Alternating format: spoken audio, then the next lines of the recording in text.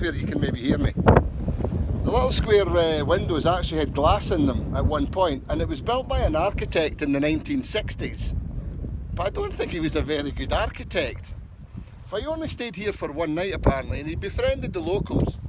But he stayed in this uh, castle for one night and never came back. So I'll take the camera off Liz and I'll let you see inside it because there's actually a space for a bed and a fire and some shelves. So come with me and watch this. It's such a bizarre little building. But I mean, you can't complain about the location. No, it's right on the coast, so we'll have to walk round here very gingerly. I think he was a rubbish architect. Who comes, I mean look at it. It's horrible. It's like one of those World War One pillboxes or something. So hopefully you can see inside. I'm going to have to come in sideways. Alright, it's little squeeze, okay. So squeezing in the door. It's just all concrete. If we just look to the right here, Rab, Rab McGlinchey's been here.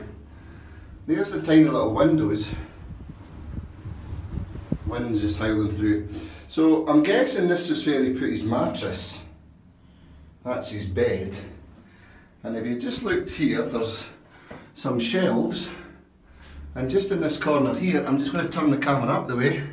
Hopefully you can see the hole. So there's a chimney. So, you know, he could have sat in here and lit his fire and put his provisions up there. And he slept here. What a bizarre little place.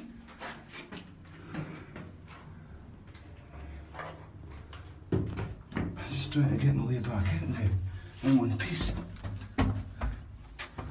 I don't fall to my death.